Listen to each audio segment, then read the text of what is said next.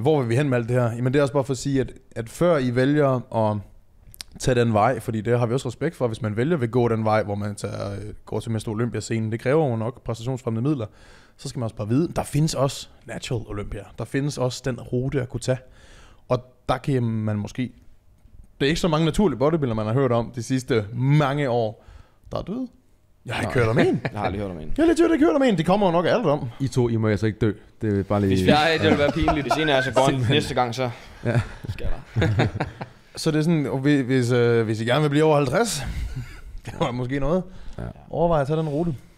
Du lever nok endnu længere ved at lave naturlig bodybuilding. Det er rent faktisk sundt. I, I virkeligheden, fordi det rent faktisk er sundt. Ja. Fordi de øh, ikke naturlige bodybuildere lever jo sundt i vores øjne, ikke? Ja. træner meget og, og spiser og, og så videre. Jeg vil sige, da vi var ude, på, ude i, øh, i Ør, og øh, da du skulle op ad den der bakke der, ikke? Uh, Der var en ved at krasse af. jeg var Synes sikker jeg på, at da vi skulle ned i poolen senere, og vi skulle bade rundt der, der skulle jeg hive dig op fra den øh, fisk, anadam der. Jeg Stå og slæve 129 kilo op ad poolen Du fik mig også i piken der. Ja. Bror, han var der jo var så du. træt. Han. Daniel, han var også så træt efter at gå op ad bakken. Han faldt i søvn ind på værelset, inden vi han nåede i poolen jo. Den ene dag. Shortsene, de var sådan halvt op om knæene. Badebukserne. Du gik ned og satte din computer op, satte musik på, og så gik du ovenpå, og så lå Ej. du bare sådan helt... Jeg, jeg går lige op og tager shorts på. Ja. Så så vi der ikke i tre timer. Nej. Det er lige en, en kastreference til en af sommerhusepisoderne. Ja. Gå ind og tjek dem ud, hvis I ikke har set dem. Fornøjelse. Yes. Jeg havde gode ambitioner. Jeg kom i poolen dagen efter. Ja. Det Der gjorde sådan du. pool. ja. Så var vandet ligesom også ude af den pool, du var hoppet ned. Eller på Det var loftet i hvert fald. Ikke? Så skulpede bare over fuldstændig. Det var både Daniel og Ibsen, der var i peak der. Kæft, Det var var peak. Det var peak. Jeg dine- kunne næsten altså jeg havde... Synes Jeg I, sige, var, var, var, vi lige så tykke? Altså, hvad, nu kigger vi tilbage, og, og, og var det så slemt? Ja. Jo, jeg så nogle billeder, jeg var faktisk... Jeg var, jeg var målløs. Hvad er din baggrund, Ibsen? Har du ikke øh, på... Jamen, det, det er Daniel. Jamen, det er jo Daniel i piken. Øh, Det er Daniel. Det er jo, prøv så, prøv så, nu skal jeg bare se. Altså, det er jo, prøv at zoome ind på det her. Det er peak. Men det er, også- altså, det er jo herligt jo. Prøv at se, hvor Ja, glad du er. Se, hvor glad du er. Og Ja, ja. Jeg har aldrig set dig så glad Hvor er det billede fra? Det er over ved Daniel, mener jeg. Nej, det, det er Charlottehaven. Det er Mark, der har taget det billede.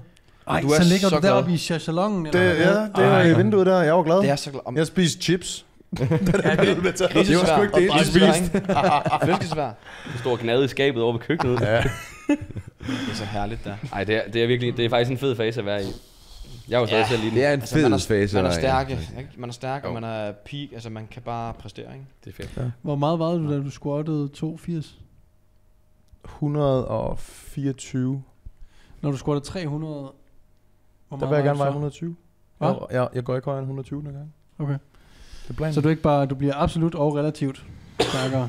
Ja, Det er flot. absolut relativt. Jeg, jeg regner med ikke at blive meget- to, to kilo plus nu. Det er fint.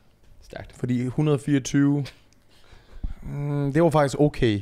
Det var Mhm. okay der. Så det var fint. 29, det var for meget. Det var for meget. Det var livskvaliteten, der... Der var, Der var, ikke, så, der var ikke telt om morgenen. og der var du lige så presset som de krudtede bodybuildere. Altså, det var sådan på grænsen til... Vi har jo episoder, hvor du sidder sådan... Jeg kan huske, I sagde, jamen, jamen jeg tror da bare, det, det problemet er jo, der er jo bare meget il- ilt. Der, skal, der er meget krop, der skal iltes. Mm. Det er jo et problem, det er en Meget problemstilling. krop, der skal i. Det er jo et faktum. Prøv lige at lade. Daniel stå og trække derovre. Hvad havde vi, øh, havde vi mere tilføjet til... Øh, Vil vi egentlig bare informere, eller havde vi en pointe med det her andet end pas på jer Altså, selv? hvis man lige hurtigt, bare For lige helvede. sådan zoome ud og lige kode det ned. Øhm, der er ikke nogen os, der er læger, og der er ikke, altså, det er, egentlig, det er blot for ligesom at rådgive lidt og, og prøve at sætte ting i perspektiv. Vi ikke? Ser bare sige- et, et, et Ja, det- mønster efterhånden. Det er det, vi kan præcis. se. Det jeg vil ikke? sige med det, det er, at vi ser et mønster, og de 15-20 folk, der nu er døde, det man bare ser, det er, at de har, de har været præstationsfremmende midler, ikke? Mm. De har været i 40'erne og 50'erne. De, øh, jeg tror alle sammen har været i FBB proer. Det ved jeg, det kan jeg så ikke huske. Mm. Men, og det ved, de har alle sammen en ting til fælles, ikke? Og så er der Dallas Det er- på 627, ikke? ikke? Okay. Og det er ikke fordi, det er ikke fordi vi, vi taler ned om folk, der bruger det. Jeg siger, vi siger bare, tænk, altså pas nu på, ikke? Tænk jer om, er det virkelig worth?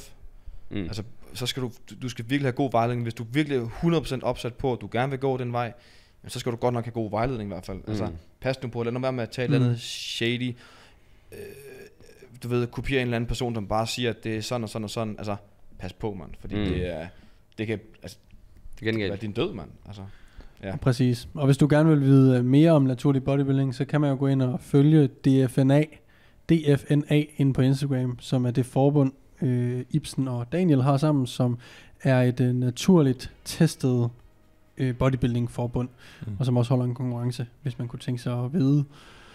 Blive lukket ind i den verden, for det er jo en lille lukket verden stadigvæk. Et, øh, den vokser og vokser, men øh, vi prøver også at give et skud ud til den øh, naturlige træningsverden. Både fordi, at vi næsten alle sammen har stillet op i det, Jeg skal ikke stille op i noget smidt.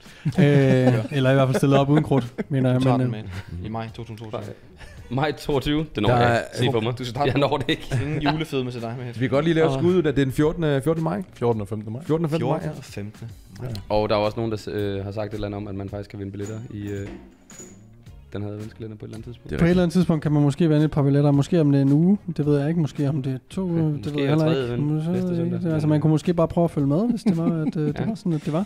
I må også godt købe billetter, ikke? Åh oh, ja. Skal jeg tage nogle penge ikke? Og hvis du nu ikke vinder, så køb for fanden. Køb nogle billetter. Ja. Jeg tror, vi alle, øh, alle Ja. boysene her kommer til at være derovre og rende rundt og, øh, og chit-chat med både publikum og, Det er øh. Præcis. og, og atleter. Og, øh, Så hvis I har lyst til at give en knuckle og sige hej, yes. så øh, kom til køb nogle billetter til DFNA. Your boys fra der køres vil være der, enten øh, på arbejde eller på, øh, på site. Og Ja. bare gå og, Det og give knuckles. Ja. Hey, du skal have en knuckle. Hvad fanden er Hey, du skal stå og lægge. Hvad? du?